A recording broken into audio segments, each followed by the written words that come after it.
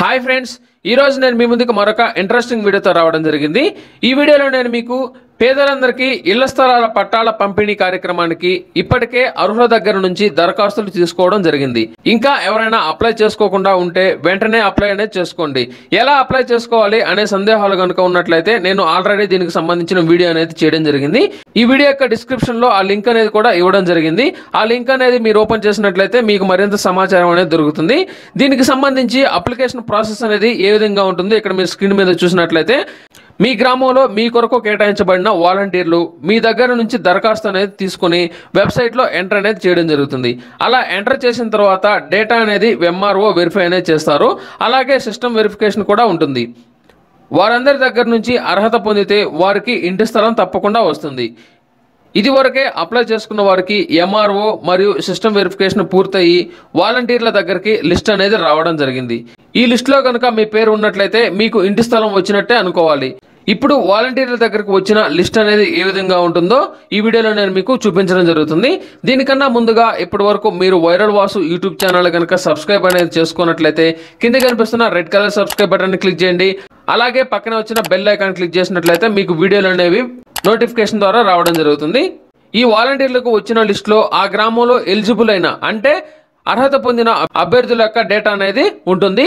గ్రామ వాలంటీర్ల దగ్గరకు వచ్చిన ఆ లిస్టులో మీ పేరు అనేది ఉన్నట్లయితే మీరు గ్రామ సభకు అర్హులైనట్లే. గ్రామ సభ ఏర్పాటు చేసినప్పుడు అందరూ చర్చించి మీరు అర్హులైతే మీకు ఇంటి పట్ట అందజేయడం తప్పనిసరిగా జరుగుతుంది. దీనికి సంబంధించిన లిస్ట్ అనేది ఏ విధంగా ఉంటుందో ఇక్కడ మీరు స్క్రీన్ మీద కనుక చూసుకున్నట్లయితే హౌస్ సైడ్ పట్టా రిక్వెస్ట్ అంటే ఇంటి స్థలం కొరకు రిక్వెస్ట్ అనేది ఎవరైతే పెట్టుకున్నారో వారి యొక్క లిస్ట్ అనేది ఈ విధంగా ఉంటుంది. ఎలిజిబుల్ లిస్ట్ ఫర్ గ్రామ సభ ఫర్ పంచాయత్ అని వచ్చి పక్కనే ఆ గ్రామంకి సంబంధించిన పేరు అనేది ఉంటుంది. జనరేటెడ్ బై అని వచ్చేసి ఇది నెల్లూరు జిల్లాకు సంబంధించిన లిస్టు. ఏ డేట్లో అయితే దీన్ని ప్రింట్ అనేది తీసారో ఆ ప్రింటింగ్ డేట్ అనేది కూడా ఇక్కడ మీరు క్లియర్గా చూసుకోవచ్చు. కింద కనుక మీరు చూసుకున్నట్లయితే సీరియల్ నెంబర్ ఉంటుంది. అలాగే అప్లికేషన్ నెంబర్ అనేది ఉంటుంది. ఈ అప్లికేషన్ నెంబర్ అనేది ఆన్లైన్లో ఎంటర్ చేసినప్పుడు మీ పేరు మీద ఒక ఐడి అనేది జనరేట్ అవుతుంది. దీనికి సంబంధించిన నంబర్ అనేది ఇక్కడ ఉంటుంది. బెనిఫిషియరీ నేమ్ ఎవరైతే అప్లై అనేది చేసుకున్నారో వారి యొక్క నేమ్ ఉంటుంది. వారికి సంబంధించిన రిలేషన్ నేమ్ అనేది ఉంటుంది. వారికి యొక్క ఆధార్ నెంబర్ అనేది ఉంటుంది. పక్కనే కనుక చూసుకున్నట్లయితే రేషన్ కార్డు యొక్క నంబర్ కూడా ఉంటుంది. మొబైల్ నెంబర్ ఉంటే మొబైల్ నెంబర్ ఉంటుంది. లేకపోతే నాట్ అవైలబుల్ అని ఉంటుంది. ఇక్కడ విలేజ్ నేమ్ అని ఉంది. మీ యొక్క గ్రామం ఏదైతే ఉందో ఆ గ్రామానికి సంబంధించిన పేరు అనేది ఇక్కడ ఉంటుంది.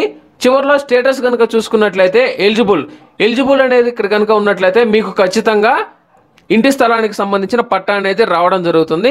మీ గ్రామానికి సంబంధించిన లిస్ట్ అనేది మీ వాలంటీర్కి వచ్చిందో లేదో తెలుసుకొని మీ పేరు ఉందో లేదో ఒకసారి చెక్ చేసుకోండి.